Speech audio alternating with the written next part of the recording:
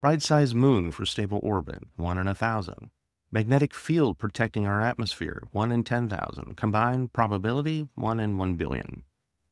That seems pretty low odds, but when you consider the amount of planets that are predicted to be in the universe based on our observations, then possible living planets become far more common, even at one in a billion. Now, most scientists will agree the odds of life spontaneously forming are so small they're effectively zero. But here's what they don't tell you effectively zero times infinity equals anything.